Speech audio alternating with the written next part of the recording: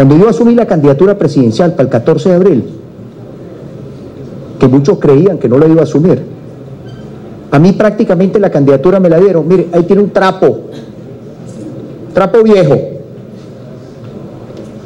Agárralo, lo quiere. Nadie quería el trapo. Hay algunos compañeros que yo le échale pichón tú, pues.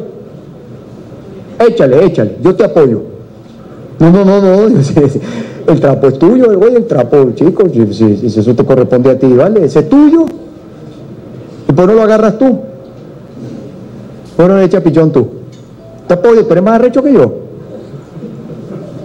¿No? No quisieron. Yo sí lo acepté.